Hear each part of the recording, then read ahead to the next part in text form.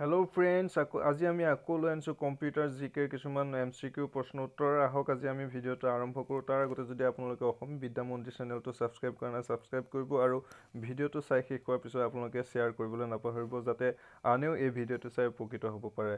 আহক আজি আমি ভিডিঅ'টি আৰম্ভ কৰোঁ। কুৱেশ্যন নম্বৰ ওৱানত আছে ডাটা প্ৰচেছিঙৰ অৰ্থ কি? ডাটা প্ৰচেছিঙৰ অৰ্থ হৈছে ডাটা উপযোগী বনোৱা। ইয়াৰ শুদ্ধ উত্তৰটো option C next question question number two ৱেবছাইটৰ নামত এইচ টি টি পি কি? ৱেবছাইটৰ নামত এইচ টি টি পি হৈছে আপোনাৰ option A protocol protocol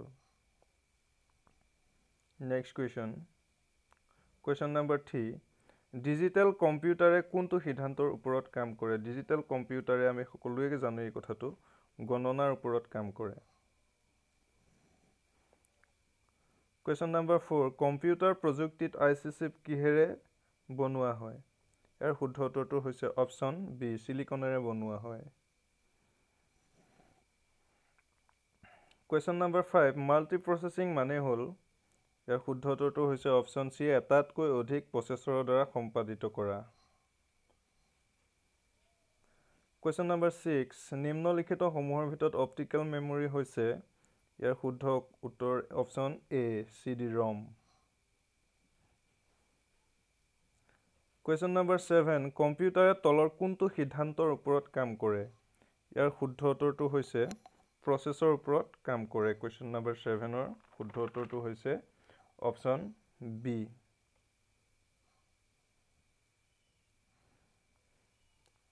question number eight কম্পিউটাৰৰ মস্তিষ্ক মাইক্ৰ' প্ৰচেছৰক কি বুলি কোৱা হয়? ইয়াৰ শুদ্ধ উত্তৰটো হৈছে অপশ্যন চি মাইক্ৰ'চিপ বুলি কোৱা হয়।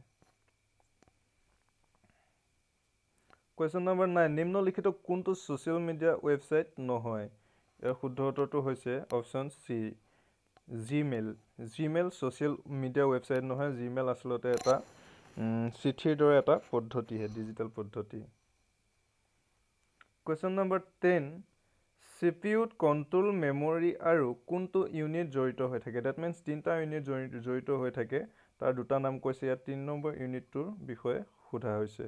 তিনি নম্বৰ ইউনিটটো হৈছে এ অপশ্যন এ অৰ্থলজিক তো ফ্ৰেণ্ডছ আজিৰ ভিডিঅ'টো ইমানতে সমাপ্ত হৈছে আৰু কম্পিউটাৰ সম্বন্ধীয় অন্য ভিডিঅ'সমূহৰ বাবে আপোনালোকে ডেছক্ৰিপশ্যন লিংক চেক কৰিলে পাই যাব। তো আজিলৈ সামৰিছোঁ ধন্যবাদ।